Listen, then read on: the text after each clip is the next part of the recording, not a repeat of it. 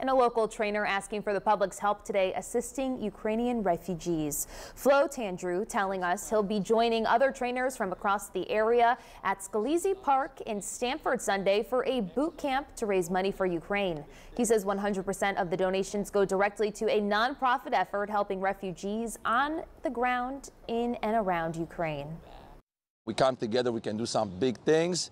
And I just want to thank all the trainers that are coming together, all the people that are participating and donating. When Flo reached out to me, I knew right away that you know I wanted to provide some uh, some detailed information about being there, working with NGOs, seeing these mothers, seeing their kids, uh, and helping his effort.